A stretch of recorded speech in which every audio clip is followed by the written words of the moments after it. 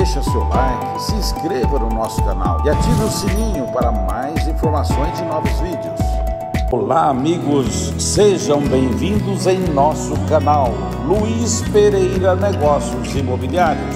Vamos apresentar uma fazenda no município de Altamira, estado do Pará.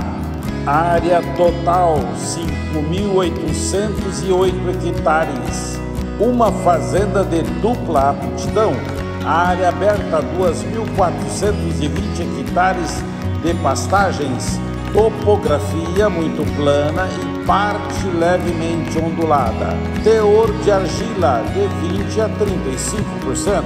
Tipo de solo: terra vermelha, terra preta, terra mista. Recursos hídricos: muito rica em água, com um grande lago.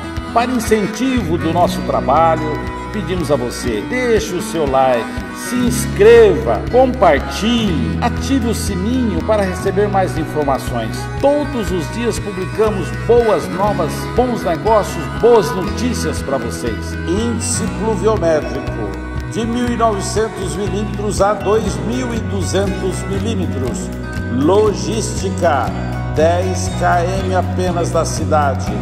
Benfeitorias casa sede, casa de vaqueiro, curral completo e barracão para maquinários, documentação titulada e escriturada, preço por hectare R$ 6.199, preço total R$ 36 milhões, condições de pagamento 50% de entrada e o saldo em até 5 anos. Se você gostou do conteúdo do nosso canal, deixe o seu like, compartilhe, se inscreva, ative as notificações e o nosso muito obrigado.